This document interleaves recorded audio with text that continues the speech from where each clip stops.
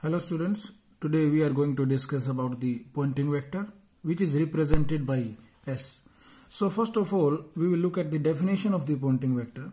Pointing vector S is defined as the rate of energy flow per unit time per unit area held perpendicular to the direction of the flow. It means del U by del T per unit time. This is the meaning of a physical meaning of the pointing vector. Now let us consider that U be the electromagnetic energy within the volume surrounded by a closed surface. Then the rate of change of this energy with time in terms of S is given by देखिए del U by del T del U by del T represent करता है energy पर unit time और S क्या है energy पर unit area पर unit time अब S को एरिया से मल्टीप्लाई कर देंगे तो वो भी एनर्जी पर यूनिट टाइम देगा और कंप्लीट के लिए हमने इंटीग्रेशन कर दिया है। This is our first equation D A यहाँ पे एरिया को डिनोट करता है। नॉर्मली हम एरिया को डी एस से रिप्रेजेंट करते हैं, पर यहाँ पे कंफ्यूजन ना हो, इसलिए हमने एरिया को ए से रिप्रेजेंट किया है। मीन्स डी ए से हमने स्मॉल एरिया को रिप्रेजेंट किया है। नेगेटिव साइन जो यहाँ पे है, वो इंडिकेट करता है that the energy is entering in the given volume energy coming out है तो पॉजिटिव साइन, एनर्जी एंटर कर रही है तो नेगेटिव साइन। अब इसका हम फ़िज़िकल मीनिंग को अच्छे से समझते हैं।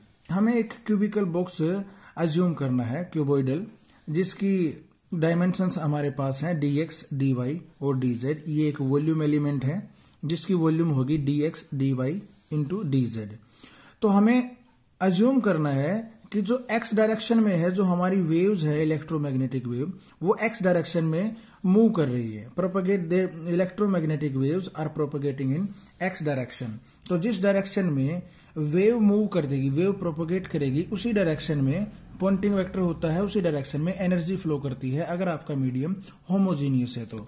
Now the energy stored per unit volume देखिए, आपने ट्वेल्थ क्लास में पढ़ा था कि जो इलेक्ट्रिक फ़ील्ड में एनर्जी स्टोर होती है, उसकी डेंसिटी होती है half epsilon naught E square और जो मैग्नेटिक फ़ील्ड में एनर्जी स्टोर होती है, उसकी एनर्जी डेंसिटी होती है B Z upon two square in fact यहाँ पे बी जेड का स्क्वेयर आएगा। B Z square upon two mu naught ठीक है? तो एच की टर्म्स में अगर हम इसको लिखना चाहें तो half epsilon naught E Y plus half mu naught H Z square, इसमें एक सिमिट्री बनती है। इसका रीजन हम बाद में बताएँगे कि हाँ ई वाई ही क्यों लिखा है और ई जेड ही क्यों लिखा है। अब ये एनर्जी डेंसिटी है तो टोटल एनर्जी एनर्जी डेंसिटी का मीनिंग क्या होगा? एनर्जी पर यूनिट वॉल्यूम और एनर्जी को वॉल्यूम से मल्टीप्लाई कर देंगे तो हमारे पास टोटल एनर्जी स्टोर आ जाएगी in this volume element D X D Y and D Z now differentiating with respect to time because we have to find out the rate of change of energy so D U by D T किया तो ये differentiation simple differentiation जो आपने mathematics में सीखा हुआ है। अब देखिए, जो ये टाइम डेरिवेटिव है ई वाई के और एच जेड के, हमें उनको स्पेस डेरिवेटिव में चेंज करना है। Time derivative of E Y and H Z in terms of their space derivative are given by ये कैसे मिलते हैं? हमने क्या लिखा है? डेल बी जेड और डेल टी की जगह पे del E X over del del E Y over del X with negative sign देखिए जो मैक्सवेल की थर्ड इक्वेशन है, वो डेल क्रॉस ई है। Del cross E is equal to minus del B by del T अब यहाँ से क्या कंक्लूजन मिलता है? इसको हम ओपन करेंगे डिटर्मिनेंट की फॉर्म में और बी की जगह पे हम बी वेक्टर कंप्लीट पुट करेंगे। B X I cap B Y J cap B Z K cap लेकिन हमें पता है कि जब हमारी जो वेव है, वो एक्स डायरेक्शन में प्रोपोगेट करेगी तो जो इलेक्ट्रिक फ़ील्ड और मैग्नेटिक फ़ील्ड जो वेव के साथ एसोसिएटेड हैं, वो perpendicular to the X direction होंगे। और जब हम वेव की प्रोपोगेशन के डायरेक्शन निकालते हैं तो E cross B E cross B gives the direction of the propagation of electromagnetic wave तो अगर ई जो वाई डायरेक्शन में है और बी जेड डायरेक्शन में होगा तभी जो आपकी वेव है एक्स डायरेक्शन में प्रोपोगेट कर पाएगी। इसीलिए जो यहाँ पे हमने किया है ई एक्स जैसे कि ई का एक्स कंपोनेंट इलेक्ट्रिक फ़ील्ड का एक्स कंपोनेंट ज़ीरो है और जेड कंपोनेंट भी ज़ीरो है। इसी टाइप से मैग्नेटिक फ़ील्ड का एक्स कंपोनेंट और वाई कंपोनेंट दोनों ज़ीरो हैं। तो यहाँ से इस इक्वेशन को इक्वेट करेंगे आई कंपोनेंट को और जे कंपोनेंट और के कंपोनेंट को तो हमारे पास ये इक्वेशन आ जाएगी जो फ़र्स्ट इक्वेशन मैंने लिखी है। उसके बाद सेकंड इक्वेशन को देखते हैं कि सेकंड इक्वेशन कैसे आती है। देखिए, जो फोर्थ इक्वेशन है मैक्सवेल की fourth equation, del cross B is equal to mu naught J plus mu naught epsilon naught del E by del T लेकिन इलेक्ट्रोमैग्नेटिक वेव जब स्पेस में वैक्यूम में ट्रेवल करती है, वहाँ पे तो कोई चार्ज पार्टिकल है नहीं। और कोई चार्ज पार्टिकल की मोशन नहीं है तो कंडक्शन करंट भी नहीं होगा। इसीलिए जो मैग्नेटिक फ़ील्ड क्रिएट होता है, वो सिर्फ़ चेंजिंग इलेक्ट्रिक फ़ील्ड की वजह से होगा।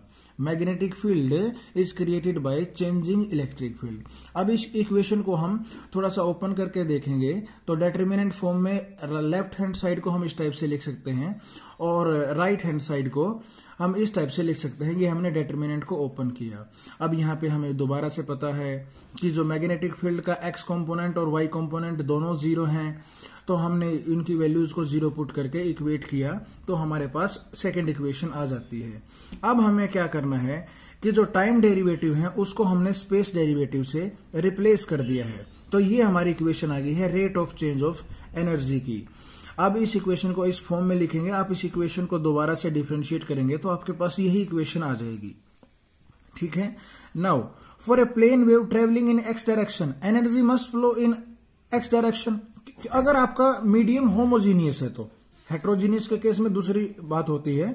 लेकिन अगर आपका मीडियम होमोजीनियस है तो दिस डायरेक्शन में आपकी इलेक्ट्रोमैग्नेटिक वेव प्रोपोगेट करती है एनर्जी उसी डायरेक्शन में प्रोपोगेट करेगी। तो S dot D A S dot D A क्या रिप्रेजेंट करता है? जो एस की value X plus D X पे है into D Y into D Z into area कर दिया।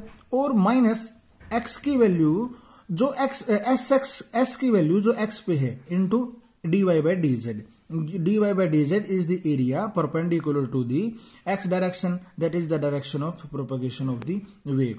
तो इस टाइप से this minus this into area ये क्या रिप्रेजेंट करता है? Change in S with respect to X ठीक है? चेंज एस में एस में चेंज को रिप्रेजेंट करेगा एक्स के साथ कितना हुआ? तो हम इस चीज़ को ऐसे लिख सकते हैं इस इक्वेशन को। अब हम इन दोनों इक्वेशन को फिफ्थ और सिक्स इक्वेशन को जब हम इक्वेट करेंगे तो इक्वेशन के बाद हमें ये मिलेगा।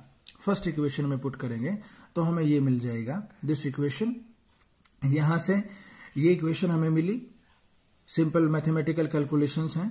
अब इंटीग्रेशन करेंगे तो आपका डिफ्रेंशिएशन खत्म हो जाएगा, क्योंकि इंटीग्रेशन और डिफ्रेंशिएशन एक दूसरे को खत्म करते हैं, ये आपको पता है। तो E Y H Z S X ये तो एग्जैक्टली exactly जो कार्टेशियन कोऑर्डिनेट्स हैं एक्स वाई जेड उनकी टर्म्स में अगर हम जनरल इक्वेशन लिखें तो जन equation will be E cross H is equal to S E cross H is equal to S S represents Poynting vector B की टर्म्स में लिखेंगे तो B is equal to mu naught H का relation use करके S is equal to one by mu naught E cross B हो जाएगा. अब बात करते हैं एवरेज वैल्यू की average value of the S जो एवरेज वैल्यू ई की जो एवरेज वैल्यू होगी ई e को हम रिप्रेजेंट करते हैं E naught sine omega T ठीक है, अगर, और बी को हम रिप्रेजेंट करते हैं बी नोट को साइन ओमेगा टी से मतलब साइन वेव होते हैं दोनों ई e और बी तो जो एवरेज वैल्यू होगी ई e की E naught by root two H की average value H naught by root two दोनों वैल्यूज़ को हम पुट करेंगे तो S is equal to one by two E cross H हो जाएगा।